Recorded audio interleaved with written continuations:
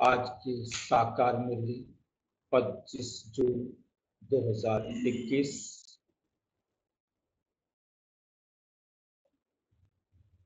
रंगीन बड़े बड़े शब्दों में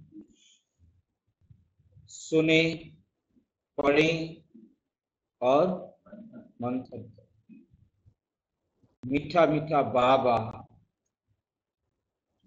कहते मीठे बच्चे, इस समय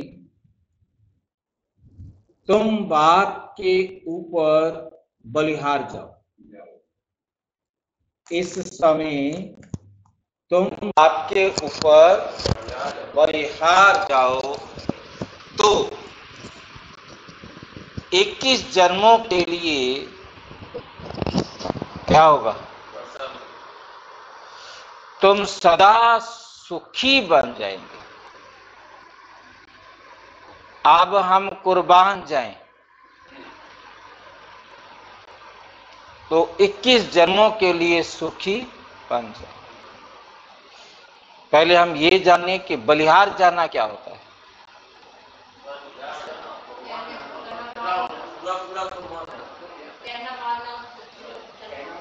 कितना? हाँ जी। पूरा कहना मानना है। पूरा कहना मानने का मतलब पूरा कहना मानने का मतलब? हाँ। किसी दूसरे का कहना माना तो पूरा नहीं हुआ। हाँ जी। हाँ। जैसे ही किसी दूसरे का कहना माना, तीसरे का कहना माना, चौथे का कहना माना तो पूरा बलिहार नहीं हुआ।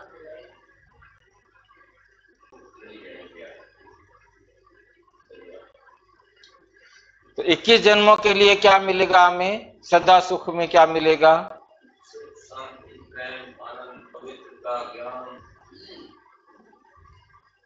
इक्कीस जन्मों के लिए हमारे पास जरा भी दुख नाम की चीज़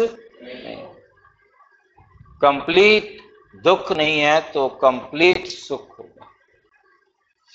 अब हम कंप्लीट बलिहार तो कंप्लीट सुख कभी कभी के बलिहार तो फिर कभी कभी का दोनों कंप्लीट नहीं होंगे। एक अधूरा है तो दूसरा भी क्या हो जाएगा? अधूरा हो जाएगा। प्रश्न, ज्ञानी बच्चों को अपनी अवस्था ठीक रखने के लिए कौन सी आदत पक्की डालनी चाहिए? ज्ञानी बच्चों को अपनी अवस्था ठीक रखने के लिए कौन सी आदत पक्की डालनी चाहिए?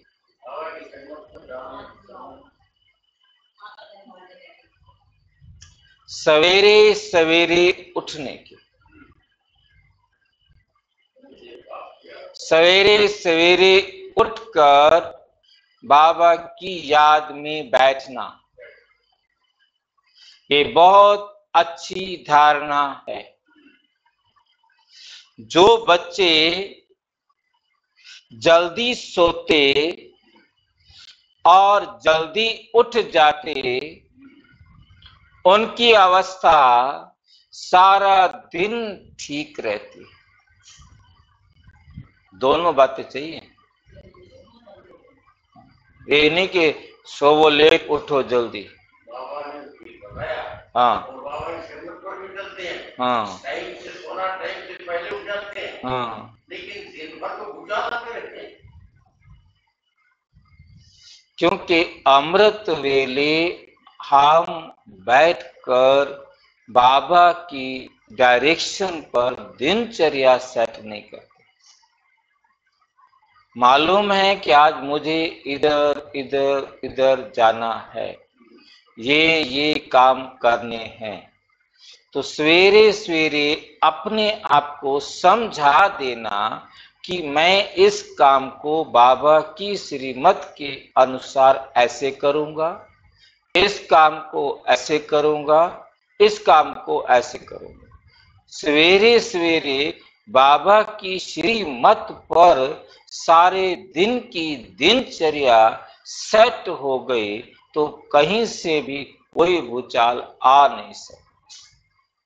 क्योंकि आप वैसे करेंगे। तो हम उसको कार्य करना है उसके बारे में तो हम बाबा से बात कर लेंगे। लेकिन अचानक जो काम आ जाता है उसके लिए तो बाबा को पता नहीं ना हमें पता। अचानक भी जो आएगा उसका भी सामना आपने जो पहले से फैसले किए हुए हैं उसी के आधार पर होना है। क्योंकि आपने सोचा हुआ है कि मैं ये काम ऐसे करूँगा तो आगे भी आप उस काम को वैसे ही करेंगे जैसे आज किया। क्योंकि जो ऑर्डर कर दिया ऑर्डर में चेंज नहीं आएगा। इसलिए काम तो जितने भी हैं, वो नए नए काम तो आएँगे, बुद्धि उसी हिसाब से उसको फैसला देती है, जो काम के लिए पहले से फैसले लिए हुए। चेंज नहीं करती। चेंज करती है तो जज की कुर्सी पर बैठती है, बहस करती है। फिर तय होता है कि हमने ये ऐसे करना है या ऐसे करना है।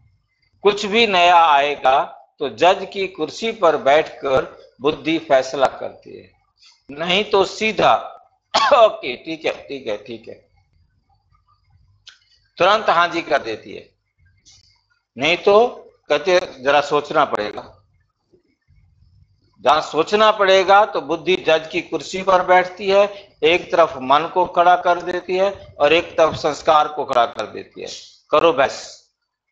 मैं सुन रहा हूँ। तो मन कहता है, ऐसे करो आदत कहती है, ऐसे करो, फिर जो जीत गया वो फैसला हो गया उठ जाते, उनकी अवस्था सारा दिन ठीक रहती है। अज्ञानियों की नींद से ज्ञानी बच्चों की नींद आदि होनी चाहिए। ठीक है? ज्ञानियों की नींद से, अज्ञानियों की नींद आदि होनी चाहिए। रात को दस बजे सो जाओ और दो बजे उठ जाओ।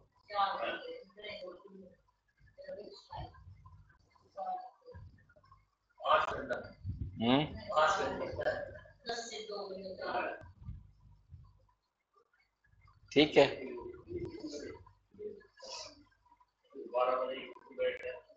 बच्चों की नींद आधी होनी चाहिए। दस बजे सो जाओ, दो बजे उठकर बैठो। गीत, मुझको सहारा देने वाले, तेरा शुक्रिया।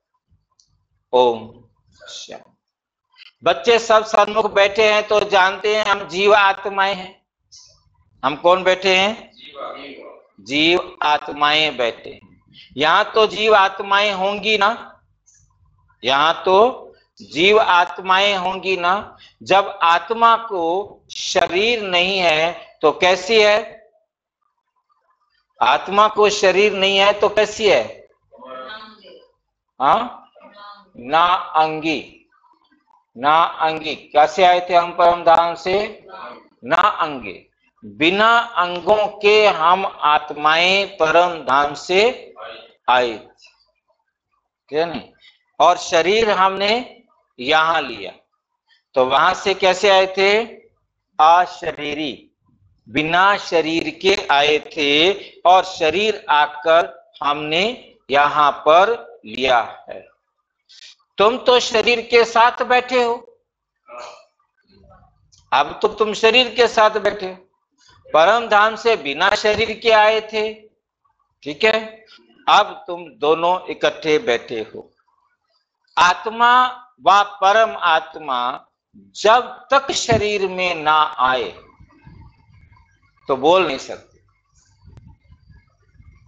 तो इसलिए सूक्ष्म वतन में कोई आवाज़ नहीं होती।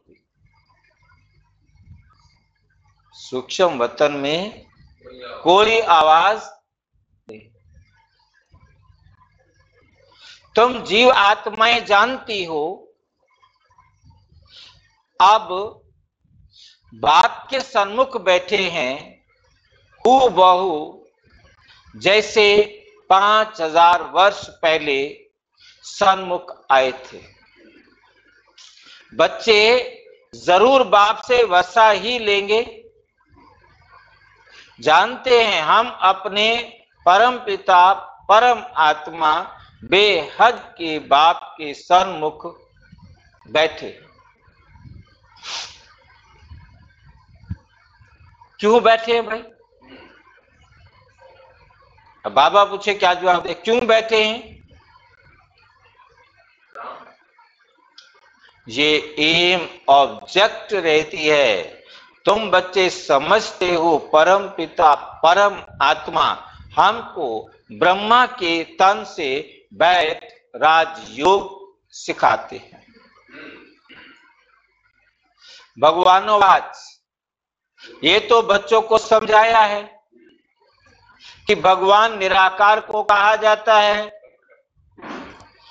जीव आत्माएँ पुनर्जन्म ज़रूर लेती हैं। कोई भी सन्यासी से, कोई भी सन्यासी से तुम पूछ सकते मनुष्य पुनर्जन्म लेते हैं। तो ऐसे नहीं कहेंगे कि नहीं लेते। नहीं तो चौरासी लाख जन्म कैसे कहते हो? पूछो, तुम पुनर्जन्म को मानते हो? पहले पूछो, जन्म लेते हो? कहेंगे हाँ चौरासी लाख योनि में जाते हैं।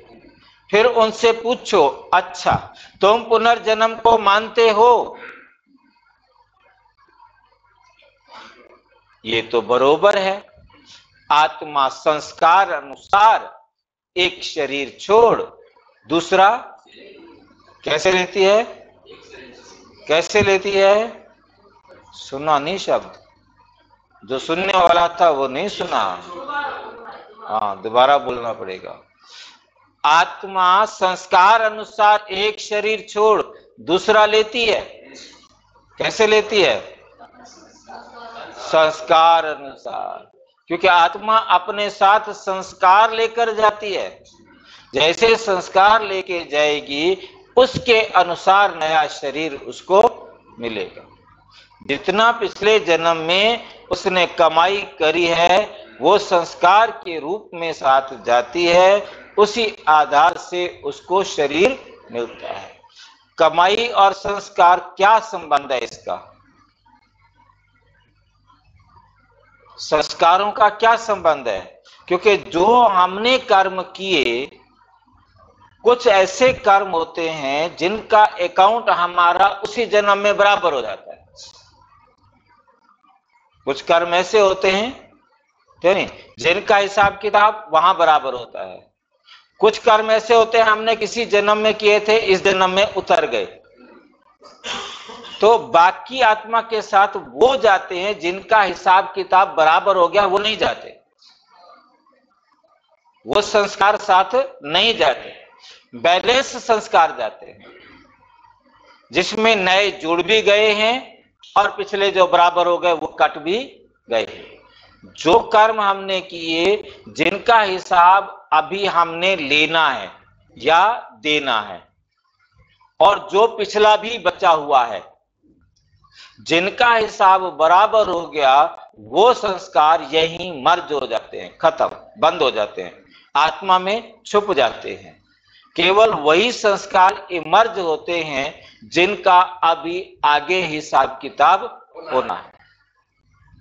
उसी हिसाब से वो अपने शरीर की रचना करते हैं कि मुझे अंधा बनना है, मंद बुद्धि बनना है, तेज बुद्धि बनना है, किस प्रकार का शरीर बनाऊँ ताकि मैं अपना हिसाब किताब बराबर कर सकूँ। बात स्पष्ट हो गई होगी? ठीक है। क्यों किस हिसाब से बनाती है? तो जो हिसाब बराबर हो गया, वैसा शरीर बना के क्या करूँ?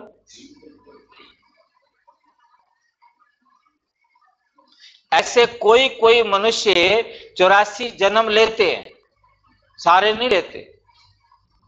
कोई कोई मनुष्य, कौन से मनुष्य? जो हिसाब के था कौन से मनुष्य चौरासी जन्म लेते हैं? बाबा ने कहते हैं कोई कोई। हाँ जी। जो आदि में आएँगे।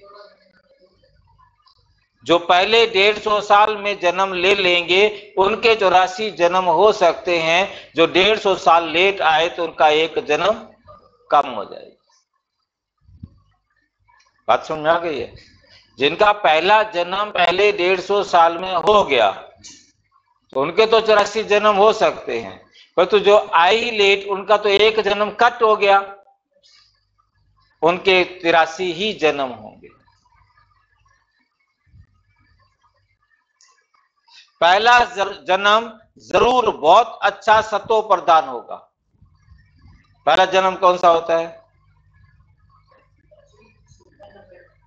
पहला जन्म आपका कौन सा होता है। सबका जन्म संगम पर होता है पहला। पहला जन्म सबका संगम पर होता है। आखिरी तो होगा जो जब तक बाबा के नहीं बने। जिस समय हम बाबा के बने, वो पहला जन्म है।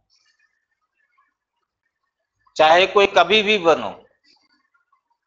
उसके बाद उसकी चढ़ती कला होती है। बिना बाबा का बच्चा बने उसकी चढ़ती कला नहीं होती। और चढ़ती कला में जो आता है, वही जन्म सबसे श्रेष्ठ होता है। उसी जन्म में, चाहे वो उसका छोटा जन्म है, चाहे उसका बड़ा जन्म है, वही उसका सर्वश्रेष्ठ जन्म है। ईश्वरीय संतान तो केवल उसी में ही कहलाता है।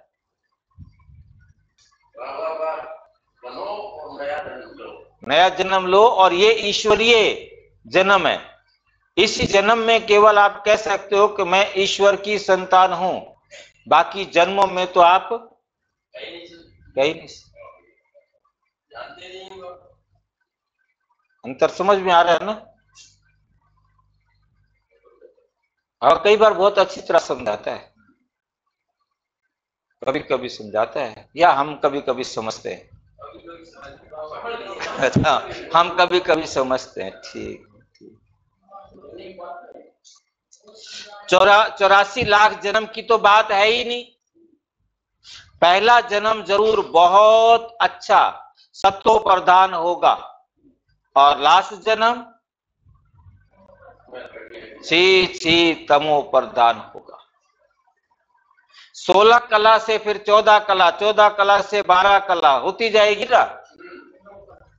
पुनर्जन्म लेते लेते है ना। पूछना चाहिए अच्छा परम पिता परमात्मा पुनर्जन्म लेते हैं? आज ट्रेनिंग दे रहे हैं कैसे समझाना है? कोई बैठा हो पूछ सकते हो उसे।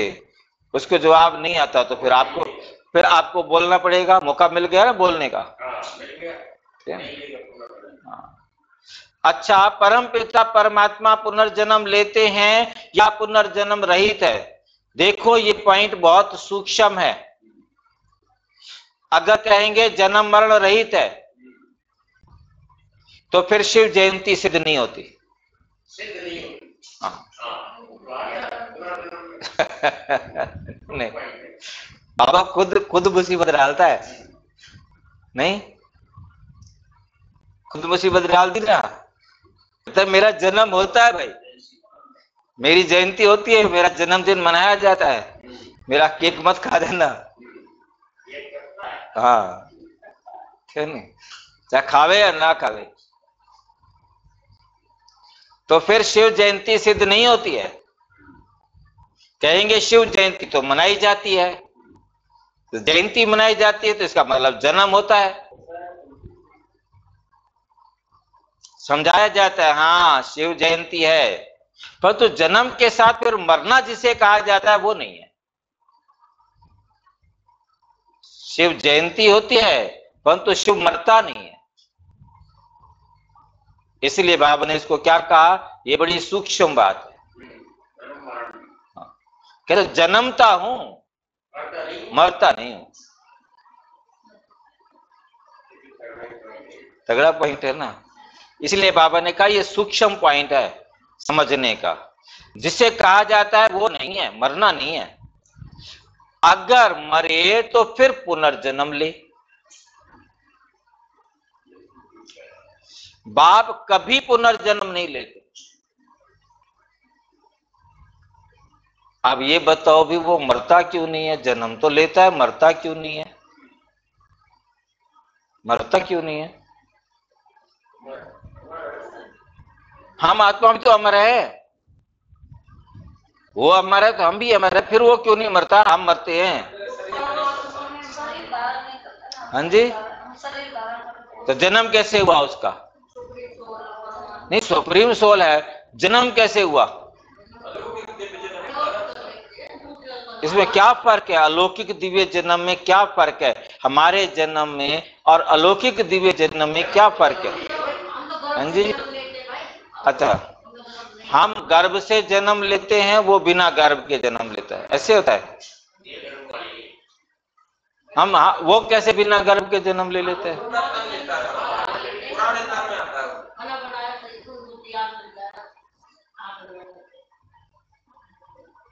वो किराए का, वो किराए का शरीर लेता है। वो पर काया में प्रवेश करता है। तो जन्म का क्या मतलब होता है? जन्म का क्या मतलब होता है?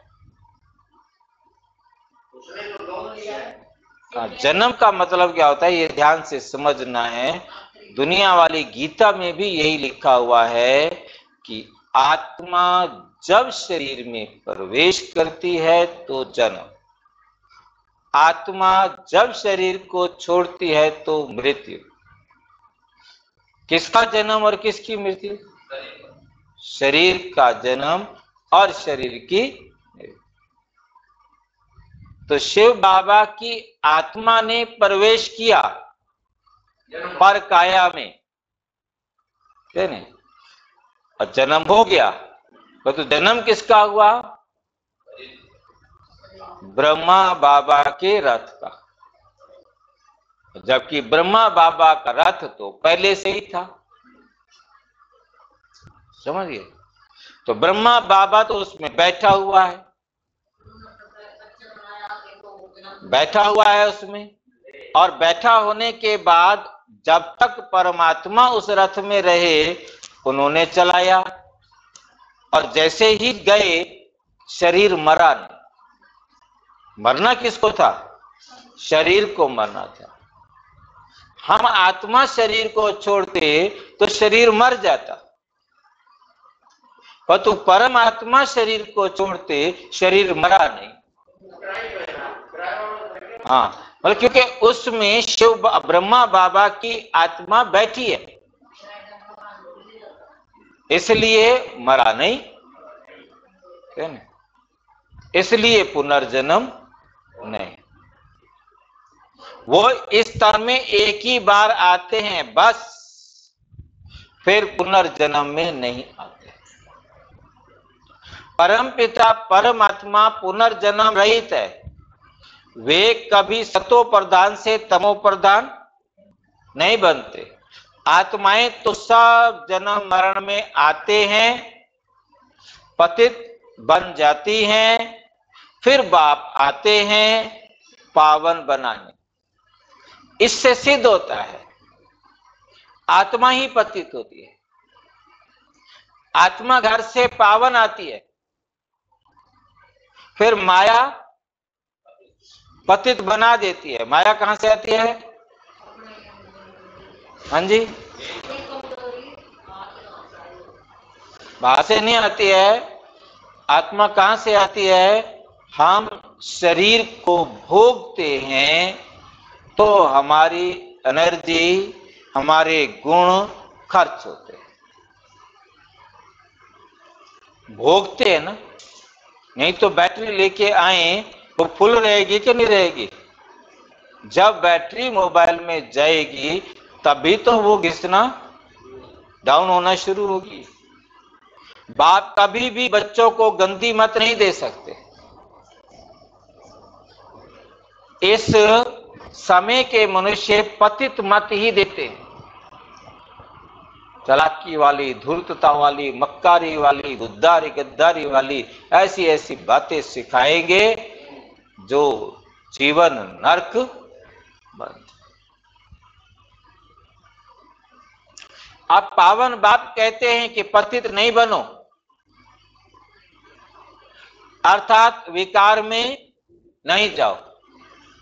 रावण की मत से दुख धाम बन गया। रावण की मत से क्या बन गया? दुख धाम बन गया। पहले सुख धाम था। ऐसे नहीं बाप ही सुख देते हैं। बाप ही दुख देते हैं। ऐसे नहीं। नहीं, बाप कभी बच्चों को दुख की मत दे नहीं सकता। माया ही दुख देती है। जब तुम्हारे गुणों का अभाव होता है, तब तुम्हारे जीवन में दुख। उस माया पर जीत पाने से तुम जगत जीत बनते हो। मनुष्य माया का अर्थ नहीं समझते। वे धन को माया कह देते। और आप किसको कहते हो माया?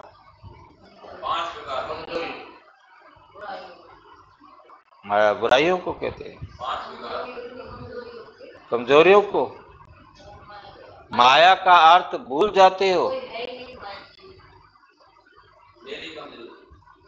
बताया था भाई, याद नहीं रखते माया। नहीं है जो। नहीं है जो। मा माना नहीं, या माना जो। नहीं है जो। ठीक है क्या बहुत अच्छी तरह से। जो मेरे अंदर ज्ञान कम हो गया, वो माया। जैसे एक गिलास दूध में परम धाम से लेके आया था, एक गुट पी लिया। एक गुट क्या हो गया? माया। कुछ दिनों बाद दो दूसरा गुट पी लिया। तो माया और हो गई। तीसरा गुट पी लिया जितना मैं गिलास खाली करता जाऊँगा, वो माया है। अब समझ में आया? ज्ञान कम हो गया, प्रेम कम हो गया, शांति कम हो गई, आनंद, सुख, पवित्रता कम हो गए, ये माया है। उनका कम होना माया है। उसकी जगह पर जो आया, इसलिए उसे माया कहा। ज्ञान की जगह अज्ञान आ गया, प्रेम की जगह नफरत आ गया, शांति की जगह शांति आ गई, शक्ति की जगह शक्ति आ गई, सुख की जगह दुख आ गया, पवित्रता की जगह पर अपवित्रता आ गई। मतलब जो चीज़ आई खाली जगह लेने के लिए, बनने के लिए, वो माया इसलिए कही गई। अब समझ में आ गया है माया क्या है? कहते हैं ना, इनको माया का नशा बहुत है। पर तो माया का नशा होता नहीं। क्योंकि वो तो समझते धन माया है ना। वहाँ रावण का बुत बनाकर जलाते नहीं। सतयुग में रावण का पुतला नहीं जलाते। बुरा तो दुश्मन को बनाया जाता है ना। बुत किसका बनाया जाएगा? जो दुश्मन है, उसका बुत जलाया जाता है ना। जो हमारा कहना मानता उसका पुतला जलाएँगे। रावण राज्य शुरू होता है आधा कल्प से दे अहंकार आने से, फिर और विकार आ जाते हैं। शास्त्रों में लिखा हुआ है, देवताएँ वाह मार्ग में, अर्थात विकारों में जाते हैं। कब? कब जाते हैं वे शास्त्रों में लिखा हुआ है? द्वापुर सत्ययुग त्रेता नहीं लिखा। द्वापुर से विकारों में जाते हैं। विकारों में जाना माना विकार करना। विकार मतलब बिगाड़। विकार का मतलब क्या होता है? बिगड़ना। नहीं, बेकार नहीं। बिगड़ना। टेढ़ा हो जाए। विकार आ गया, खराब हो गया। दूध में नींबू गिर गया, विकार आ गया। हट गया वो। ठीक है तो मतलब इस प्रकार से सब्ज़ी खराब हो जाना, विकार आ जाना। कोई ऐसी चीज़, किसी चीज़ में डलना जिससे वो खराब हो जाए। उसको बोलते हैं विकार आ गया। माया के वश होने से फिर, माया के वश होने को क्या कहा जाता है? पारवश। परवश का मतलब क्या होता है? दूसरे के वश। दूसरे की मत पर चलना, पर मत। पराई मत पर चलना। अब तुम चलते हो श्री मत पर। पर मत माना हाँ जी, माया की मत, रावण की मत। क्योंकि जो पर मत है, वो माया की मत है, नहीं है जो उसकी मत है, क्योंकि अभाव के कारण वो आया है, उस कमी को पूरा करने के लिए वो कमज़ोर संकल्प आया है।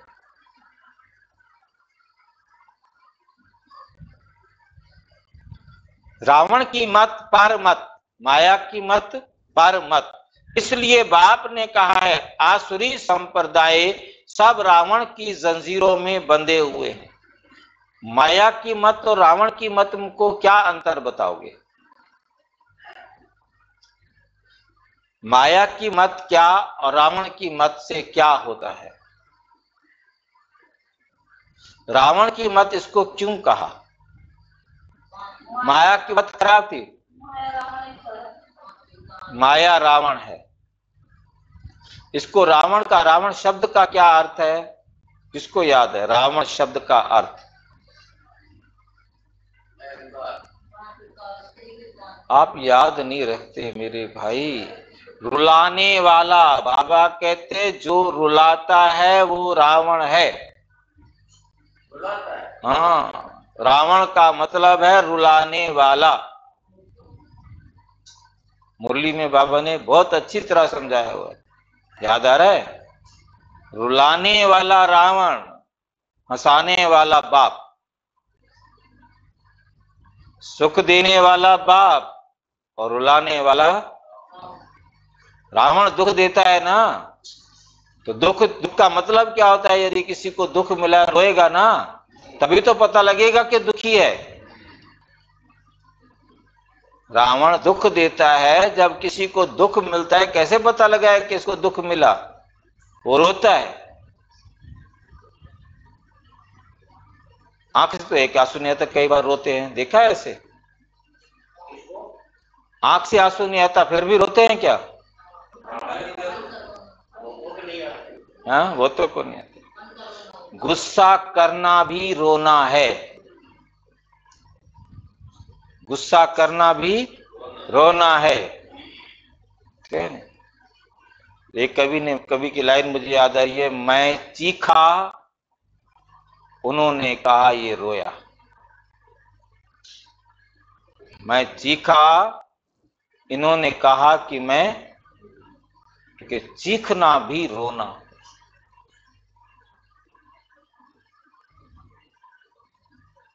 माँ चीखती है ना? जरा सा देखती है ना, नुकसान हो रहा है। बच्चे को कुछ हो ना जाए। ज़ोर से चीखती है। ये रोना है।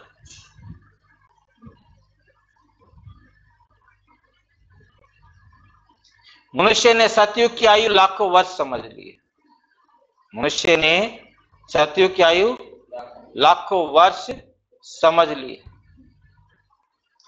तुम तो हिसाब बताते हो पाँच हज़ार साल का। और वो समझते हैं क्राइस्ट की 2000 साल हुए, बुद्ध को 2250 वर्ष हुए, फिर इस्लामी को 2500 वर्ष हुआ, सबको मिलाकर आधा कल्प हुआ। 2500 वर्ष आधा कल्प उनके पहले तो देवताओं का राज्य था, फिर देवताओं को लाखों वर्ष कह देते हैं। इतने मनुष्य होते, फिर तो मनुष्य बहुत हो जाते। इतने तो है ही नहीं। पाँच हज़ार साल में इतने करोड़ मनुष्य हो गए, लाख साल में कितने हो जाएँगे? पाँच हज़ार साल में साढ़े सात सौ, आठ सौ करोड़ आत्माएँ धरती पर आ गई और लाखों साल हो जाए तो कितनी हो जाएँगी? क्या हालत होगी? कहीं देखकर मकान बनाए जाए तो भी रहना मुश्किल हज़ार हज़ार मंजिल मकान बना जाए तो भी रहना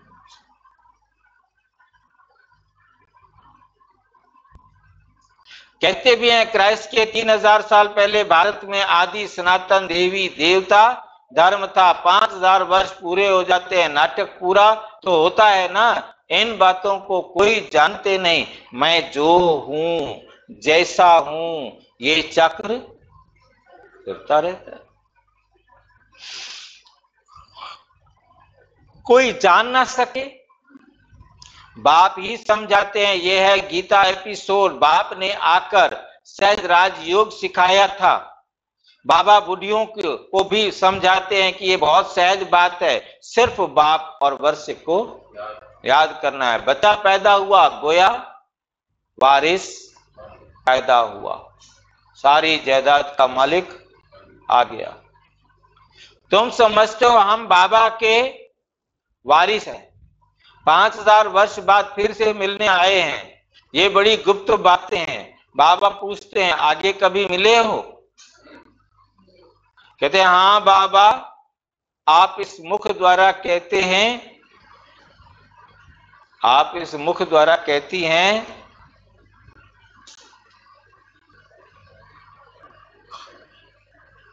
पाँच हज़ार वर्ष पहले आपसे मिले थे। आप इसी तन द्वारा शिक्षा देने आए थे, जो पक्के पक्के बच्चे हैं, समझते हैं, इस बाबा से बेहद का वर्षा लेने बैठे हैं।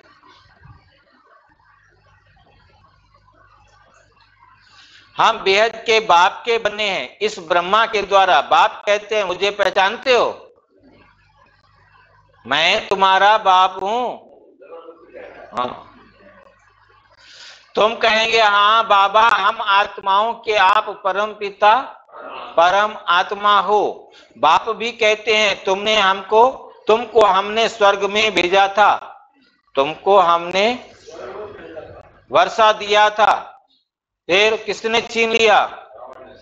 माया ने छीन लिया। फिर अब मैं देता हूँ। हाँ माया वर्षा छीनती है। और बाप देते हैं। देता है। सोचो। देता है। नहीं देता। ना दे। हाँ। हाँ। देता नहीं है। दिलाते हैं। देता नहीं है। बाप दिलाते हैं। यह अनेक बार खेल हो चुका है। होता रहेगा। अंत नहीं है खेल का। बाप के बनते हैं। फिर कोई सगे तो कोई ये भी होता है क्या? कोई सोतेले तो कोई मातेले कोई कच्चे तो कोई पक्कों को भी कभी माया जीत लेती है। पक्के पक्के बच्चों को भी माया कभी। बच्चे कहते हैं, बाबा, हम जब तक जिएँगे, आपसे वर्षा लेते रहेंगे। विकर्मों का बोझा सिर पर तो बहुत है ना। जितना तुम याद में रहेंगे, उस योग अग्नि से तुम पाप आत्माओं से पुण्य आत्मा बनते जाएँगे। आग चीज़ को पवित्र करती है। आग क्या करती है? चीज़ को पवित्र करती है। तुम्हारी है योग अग्नि। ये बेहद का यज्ञ है। बेहद के सेठ ने बेहद का यज्ञ रचा है। इतने वर्ष कोई भी यज्ञ चलता नहीं है। इतने वर्ष कोई भी यज्ञ चलता नहीं है। सात, आठ रोज व एक मास के लिए यज्ञ रचते हैं। याद करो तो तुम्हारे जन्म जन्मांतर के क्या हो जाए? विकर्मों का बोझा कटता जाएगा। भगवानोवाच मुझ बाप को, मुझ अपने बाप को याद करो। ज़रूर आया हुआ है। तब तो कहते हैं ना, बाप कहते हैं, अब तुमको वापस जाना है। तुम्हारी आत्मा इस समय बहुत पतित है। अब तुम जानते हो, योग से हम पावन बनते जाएँगे। तुम्हारी तो प्रतिज्ञा है कि आप जब आएँगे तो और संग तोड़, तुम संग जोड़ेंगे। इस पर वारी जाएँगे। स्त्री पुरुष पर और पुरुष स्त्री पर बलिहार होते हैं। यहाँ है बाप पर बलिहार जाना। शादी में एक दूसरे पर बलिहार जाते हैं ना? अब बाप कहते हैं, तुमको कोई मनुष्य पर बलिहार पहले रिश्ता काट रहा है, कहता है, किसी भी मनुष्य पर बलिहार नहीं कहना, बच्चे वारी जाऊँ।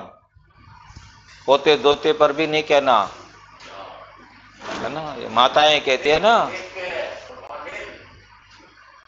वारी जाऊँ नहीं बोलना है, कुर्बान जाऊँ नहीं बोलना है। तुम्हारी प्रतिज्ञा है। प्रतिज्ञा कर दी है तुम्हारी। किसके साथ है प्रतिज्ञा आपकी? आप पर बलिहार जाऊँगी। आप हमारे पर बलिहार जाओ तो 21 जन्म तुमको सदा सुखी बनाऊँगा। कितना भारी वर्षा है, श्री मत से तुम श्रेष्ठ बनेंगे, ये भूलो मत। लक्ष्मी नारायण का चित्र भी घर में रख दो। हम बाप से ये वर्षा ले रहे हैं। बाप परम धाम से आए हुए हैं, परंतु माया वर्षा लेते, माया चील भी कम नहीं है। माया क्या है? चील। चील जानते हैं? उड़ती रहती है हाँ? तो चील भी कम नहीं है। सबकी बात नहीं है, परंतु नंबरवार है। चील को क्या बोलते हैं? काइट। राजपतंग को भी क्या बोलते हैं? सबकी बातें नहीं है, परंतु नंबरवार हैं। कोई तो एकदम भूल जाते हैं। कि हम बाप से वर्षा लेते हैं? यहाँ बैठे हैं, नशा चढ़ता है, और यहाँ से बाहर निकले तो तो सोडा वाटर हो जाता है। सोडा वाटर क्या मतलब होता है? हाँ जी? सोडा वाटर का क्या मतलब होता है बाबा कहते हैं? सोडा वाटर हो जाता है। हाँ? हाँ खोलो बोतल तो एकदम गैस निकलती है, उसके बाद ठंडा। यहाँ आए, ज्ञान सुना, बाहर गए, ठंडा। फटाफट एकदम। अभी अभी झाग बनी और अभी अभी यहाँ से बाहर निकले और भूला। फिर सुबह को रिफ्रेश होते। फिर सारा दिन भूल जाते। चार, पाँच साल रहकर अच्छी सर्विस करने वाले भी, अच्छी सेवाएँ करने वाले भी आज देखो है ही नहीं। छोड़ गए।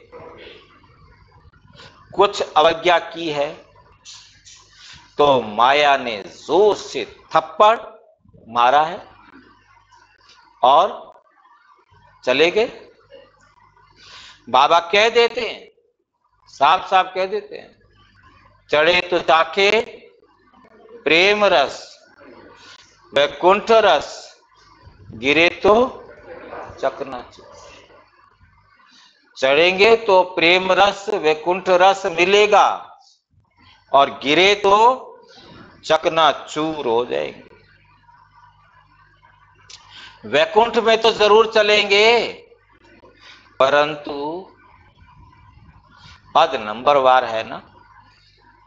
बल वहाँ सब सुखी रहते हैं, फिर भी मर्तबे तो है ना। स्कूल में मर्तबे पाने के लिए ही तो पुरुषार्थ करते हैं। ऐसे नहीं, प्रजा ही सही, जो तकदीर में होगा सही। हमेशा कोरोना रहे ताकि सारे बच्चे क्या होते रहे? पास होते रहे। फेल ही ना हुए। ऐसे नहीं, प्रजा ही सही।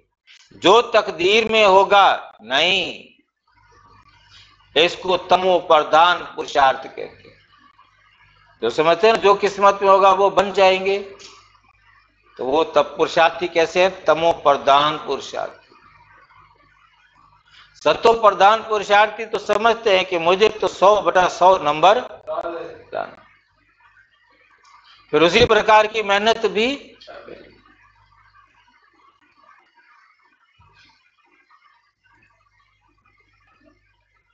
सतो प्रधान उनको कहेंगे जो बाप से पूरा वर्षा लेने की प्रतिज्ञा करते हैं। ये घुड़ दौड़ है, सभी नंबर वन तो नहीं जाएँगे। ये ह्यूमन रेस है, तुम चाहते हो हम जल्दी शिव बाबा के गले में पिरो जाएँ तो उनको याद करना पड़ेगा।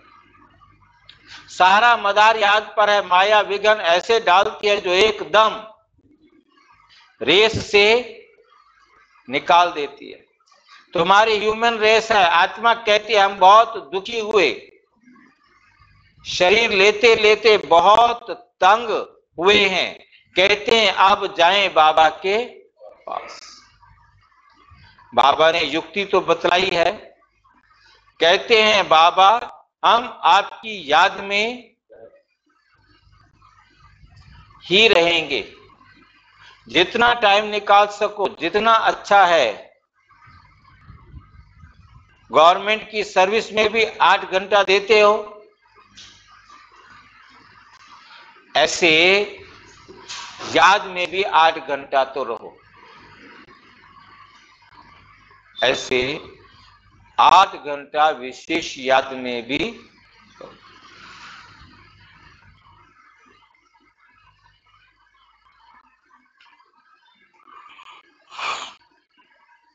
सृष्टि को स्वर्ग बनाना ये कितनी भारी सेवा है? सिर्फ़ बाप को याद करो और सुखदाम को याद करो। बस ये आठ घंटा सर्विस करेंगे तो पूरा वर्षा पाएँगे। आठ घंटा सेवा करनी है। ऐसे ऐसे याद करते करते तुम्हारे विकर्म विनाश होंगे। आठ घंटा इस सर्विस में दो, बाकी सोलह घंटे तुम फ्री हो।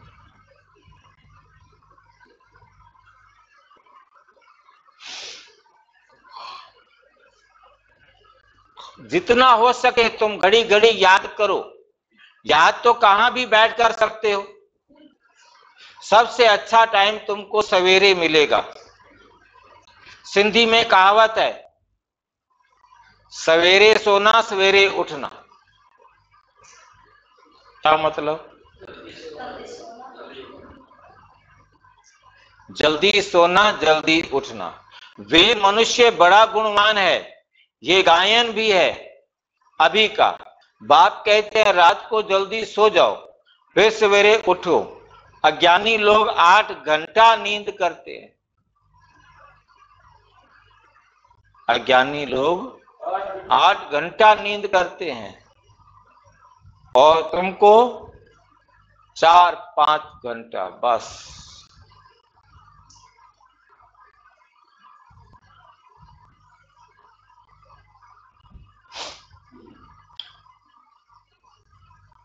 तुम कर्म योगी हो ना? रात को दस बजे सो जाओ। दो बजे उठो। शिव बाबा को याद करने से तुम्हारी कमाई बहुत है। तुमको हेल्थ वेल्थ हैप्पीनेस हेल्थ भी तुम्हारे पास हैप्पीनेस भी तुम्हारे पास।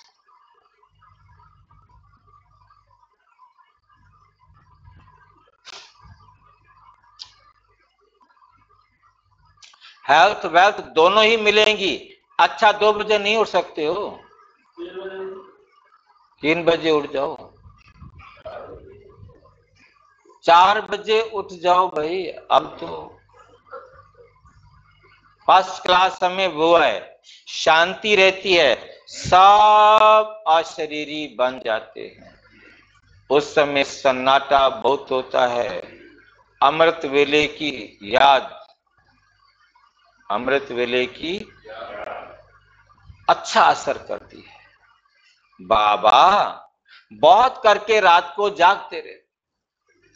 सूक्ष्म सर्विस में थकावट नहीं होती। बाबा को रात को काफ़ी देर तक जागते रहते हैं?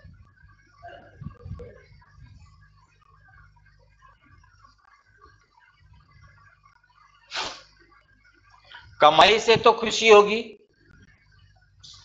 तुम बच्चे सवेरे उठ अपनी अविनाशी कमाई करते रहो।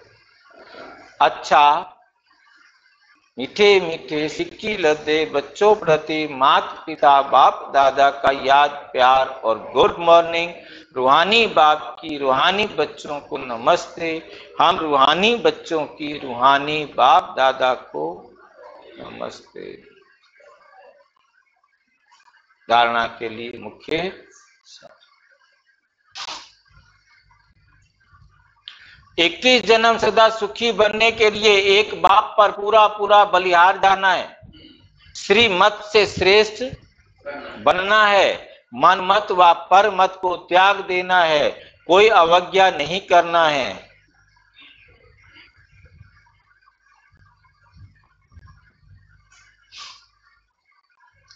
कोई अवज्ञा नहीं करनी। नंबर दो। सवेरे सवेरे उठकर याद में बैठ कमाई करनी है। सृष्टि को स्वर्ग बनाने की सर्विस कम से कम आठ घंटा करनी है। आठ घंटा योग, आठ घंटा सेवा, आठ घंटा सोना। चौबीस घंटे।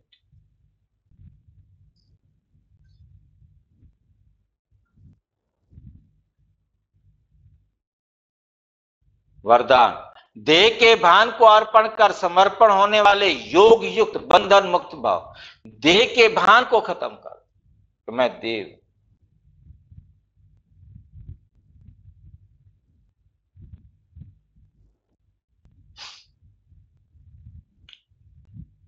कैसे मिलेगा ये वरदान? जो देह अभिमान को अर्पण करता है, उनको हर कर्म दर्पण बन जाता है। हर कर्म उनका क्या बन जाता है?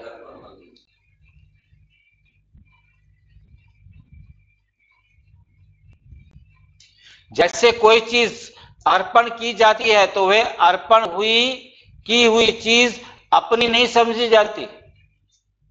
तो बाप दे के बाप तो शिव बाबा है तो दे के भान को भी अर्पण करना है। शिव बाबा को देह का भान भी अर्पण करना है। मुझे देह का भान भी ना आए।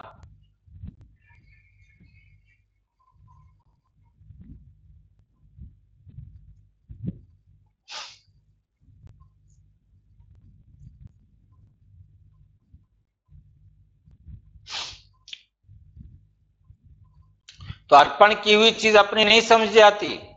तो देह के भान को भी अर्पण करने से जब अपनापन मिट जाता है तो लगाव मिट जाता है, उन्हें ही संपूर्ण समर्पण कहा जाता है।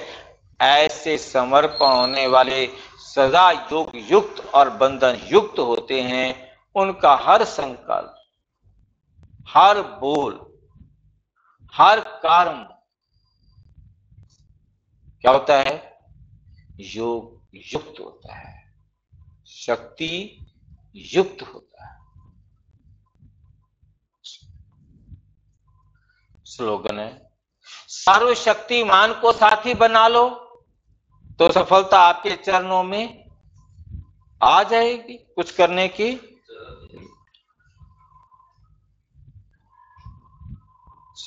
ओम शांति। और विस्तार से जानने के लिए प्रजापिता ब्रह्मा कुमारी ईश्वरीय विश्वविद्यालय के किसी भी सेवा केंद्र से संपर्क करें। और यदि कोई प्रश्न है तो nine two one three one zero six nine eight six पर बस। ओम।